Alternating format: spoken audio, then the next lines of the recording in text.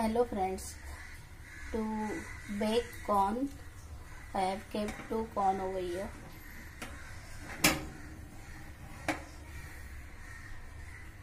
And then uh, you have to select option bake. You can preheat oven first.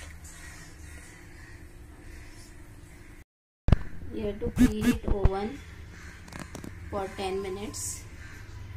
And then you can अभी इसको आप हल्दी नमक से मैरिनेट भी कर सकते हैं। या नहीं करना है तो डायरेक्ट बेक करके जब ये कंप्लीट हो जाएगा, उसके बाद आप हल्दी नमक, मसाला चिली पाउडर और नींबू से आप उसको ग्रीसिंग कर सकते हैं। तो अभी मैं ये बेकिंग के लिए डाल रही हूँ। मैंने बेकिंग के लिए डाले हैं। 15 मिनट के बाद चेक करूँगी।